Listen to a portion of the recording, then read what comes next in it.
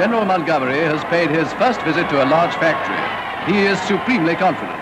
Britain had been at war for five years. As the D-Day landings approached, Monty set out to make the people believe in victory. Monty is blessed with the human touch of all born military commanders. Why is it? Why is it that today the, the tide has turned and we are beating the Germans and coming towards the final climax of the war? I'll tell you why it is. It's because we've got far the best equipment and we've got far the best men. And women too. Far the best.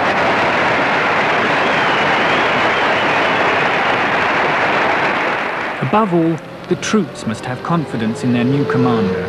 He did what you call in England building a pe people up, what we call a sales pitch, or giving a guy the needle. And he had a very definite pattern. He would take a brigade group, which was about 5,000 people, in a common in a great big field area, and they would bring a jeep in the center, and he'd get up on what you call the bonnet, what we call the hood, and he'd say, now, you fellas all gather around. He said, I want you to, to look at you and see what you like, and I want you to look at me. And then he would uh, go into this, what we're going to do to the Germans and how we're going to knock them out of the ballpark and this sort of thing. And it had a great effect. If he was doing a more formal inspection, uh, go down a line, he, were, he didn't look at their boots or anything. Many generals looked at the boots to see if the men had cleaned and polished their boots. I don't think Monty was interested really in people's uniform. What he looked at was the bearing of the men's face. And it was a very shaking experience. He looked straight into men's eyes as he went. This left a memory amongst the men that no other general behaved in, in this way.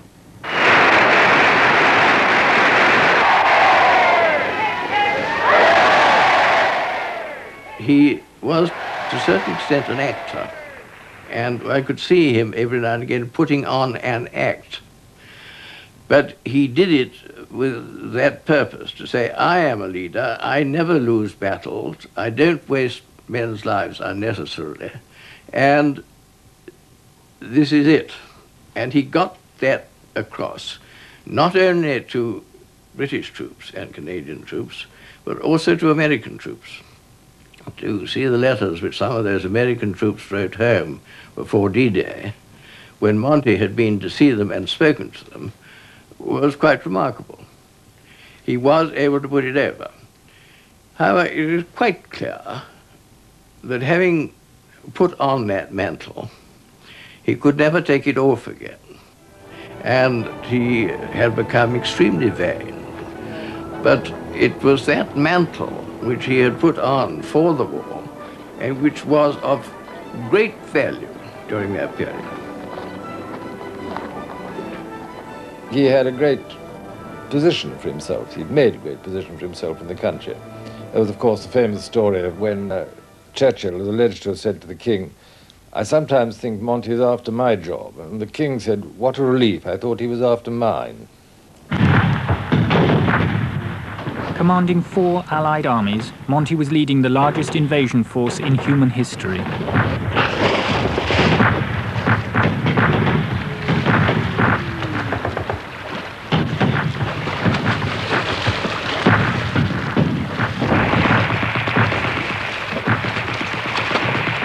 The landings took the Germans by surprise. They had hoped to defeat the Allies on the beaches, Instead, they were overwhelmed by the sheer size and speed of the Anglo-American assault. It was Monty's plan, and it succeeded.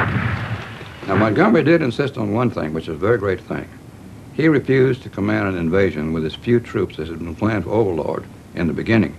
He insisted on us having another corps before he, he would go in, which was exactly right. Uh, we were not. We were supposed to uh, land in uh, on in D-Day with just half the force we finally landed with. Montgomery refused, and he was able to hold out and get more troops. And that's a very great plus.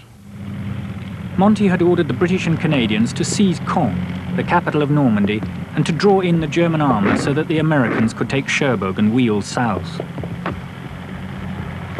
The Americans took longer than expected, and in turn blamed Monty for being slow to take Caen.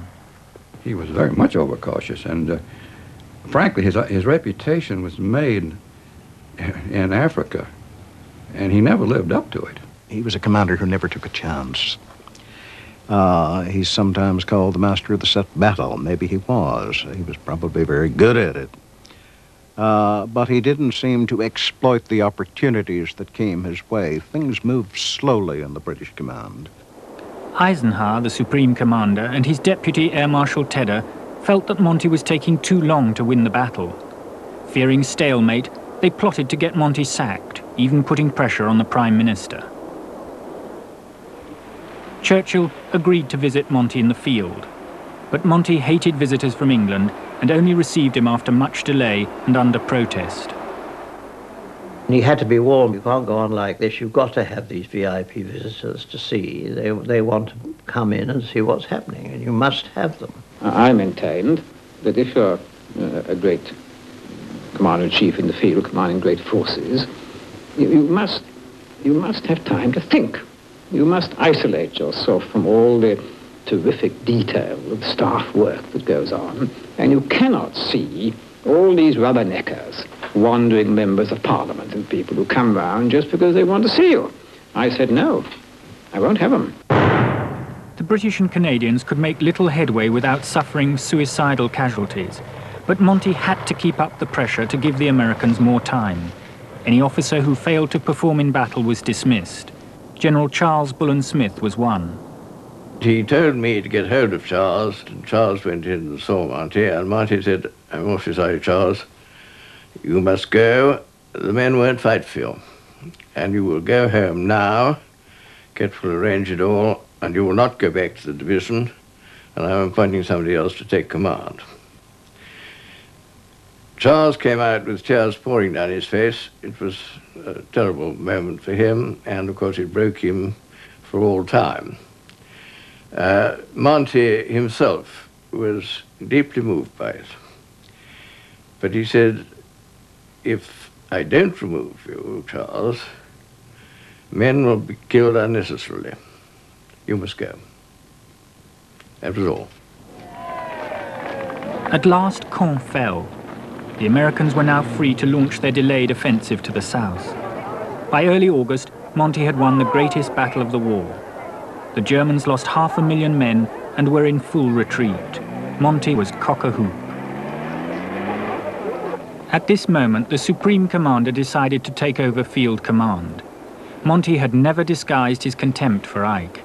When you would go into Ike's headquarters and talk to his aides and some of his other people there, they would always have the latest story about uh, Monty's dreadful treatment of Ike on a conference that he failed to show at or a letter that he had sent or something. There was always a Monty story in Ike's headquarters, and each was worse than the other.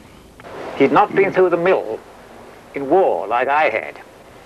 And I think that it was a pity, really, when he decided to come down from his lofty perch and take command of the land armies after Normandy.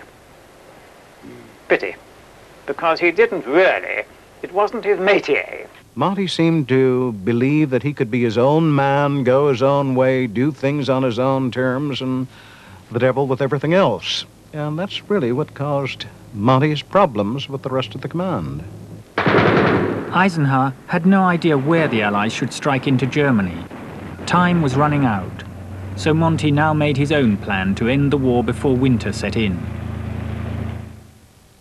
His plan was to encircle the Ruhr by striking north through Holland. To clear the way, Monty would drop three airborne divisions behind enemy lines. They would seize key river crossings and, most important of all, the bridge across the Rhine at Arnhem. He obviously had his eye on the main target, which was the Ruhr.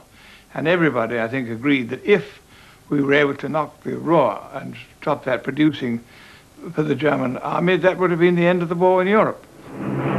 At first the attack went well, but the paratroops were dropped too far from the bridge. They were lightly armed and soon crushed by the German panzers. Monty's plan now looked like folly. It was completely out of character. Uh, one almost might wonder whether it was his plan or whether some cockamamie guy on the staff conceived of it. It was just too bold, too reckless. It was Arnhem that put an end to Monty's dreams of finishing the war in 1944, and it was his own fault. He had always guarded against unnecessary casualties and ill-planned ventures. But in his frustration with Eisenhower's inability to make up his mind and go for a single thrust into Germany, Monty had gambled on an airborne drop across the Rhine at Arnhem. It was too little, too late. Monty's defeat rankled, but the Americans were now providing the bulk of all troops and equipment. They insisted there was only one way to win the war, by attacking on all fronts. Monty warned this would leave them too thinly spread.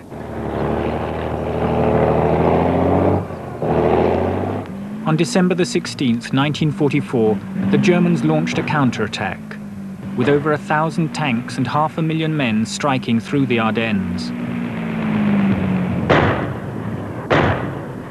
The American armies were cut in two.